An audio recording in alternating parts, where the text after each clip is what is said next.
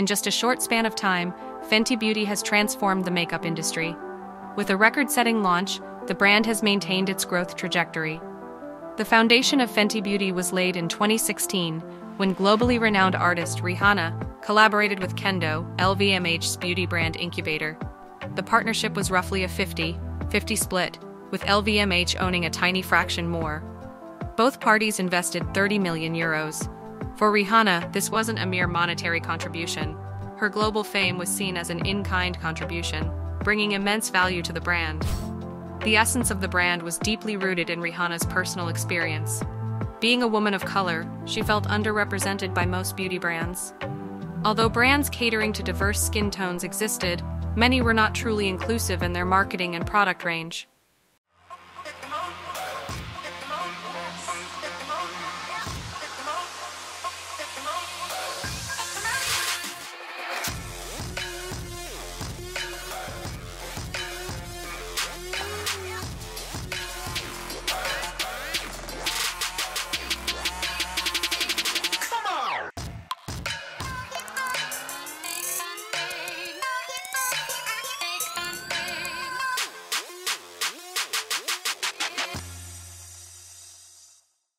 Their research indicated gaps not just for dark tones, but also for very pale tones.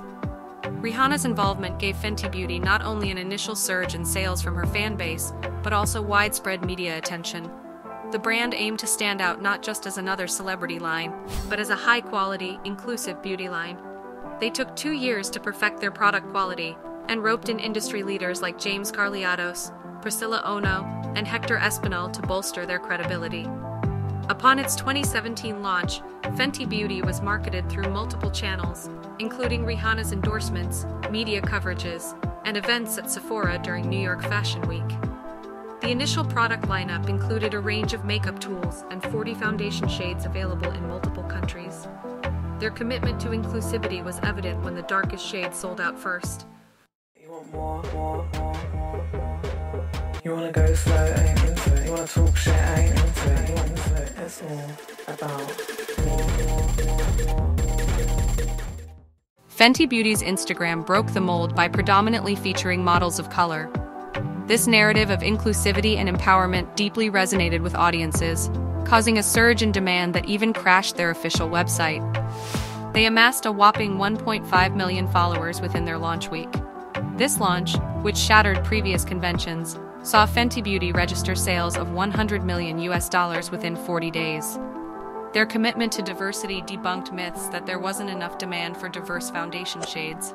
Their impact was so profound that it prompted other brands to expand their color ranges, although for many, these moves seemed more opportunistic than authentic. Authenticity in branding can be a game changer. Fenty Beauty's organic inclusivity garnered them a solid, loyal customer base. Within 17 months, they recorded sales of 570 million US dollars and achieved a brand valuation of over 1 billion US dollars. By 2019, Fenty Beauty was a mainstay in the beauty realm, expanding its global presence.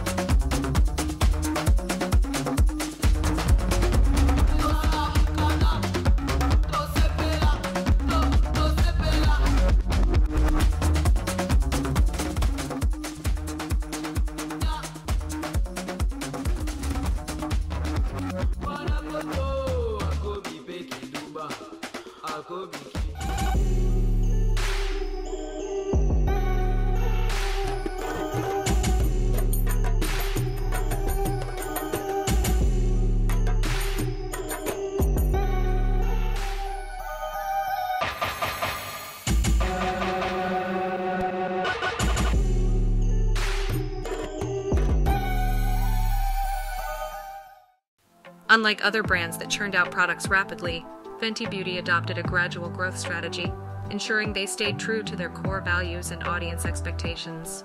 Fenty's decision to shift towards a more grounded growth approach demonstrates their intent to be more than just a transient trend. They've proven they're a dependable brand, expanding cautiously yet consistently. Despite some missteps like the failed Fenty Fashion House, they've seen successes like the introduction of highlighters, which were initially successful in 2018. However, the brand faced its first major backlash in March 2019 when they named a red highlighter Geisha Cheek. While geishas are viewed as artists and musical performers in Japan, in the West, they're often misunderstood and fetishized.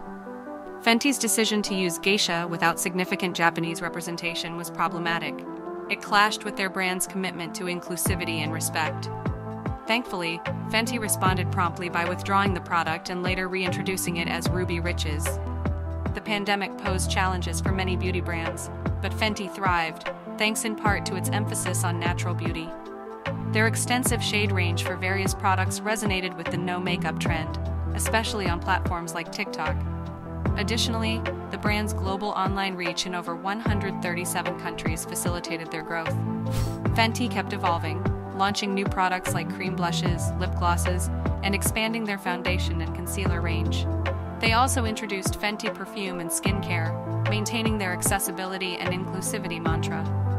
Their slow and steady growth approach enhanced customer trust, paving the way for more experimental ventures.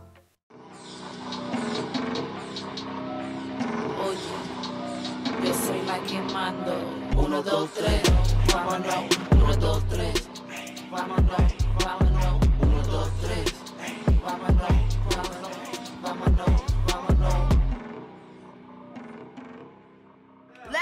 Talk about cream blushes. Cheeks out, shots, and swatches. So we're gonna show you our cream blush, which is Fenty Beauty's very first blush ever. It's all First up, Rose Latte. What else would you call this color?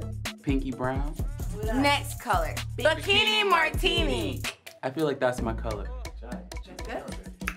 The next color is called Strawberry Drip. Strawberry Drip. One such initiative was their collaboration with MSCHF, known for its quirky marketing tactics. Their joint product, a ketchup themed makeup kit, where some packets contained lip gloss while others had actual ketchup, became a viral sensation. Such light-hearted ventures could be a fresh direction for Fenty, but they must be cautious.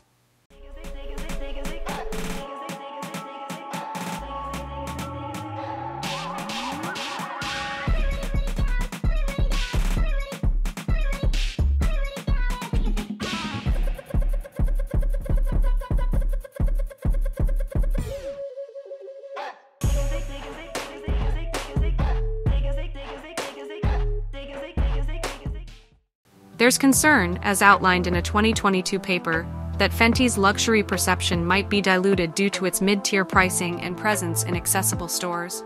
Collaborations with luxury brands, both small and large, could help restore that image. However, as Fenty's influence grows, the brand must remain vigilant. Any controversy, whether related to products or Rihanna's personal life, could ripple across its entire product range. This vulnerability isn't unique to Fenty, but it's a risk they and other celebrity brands must always consider.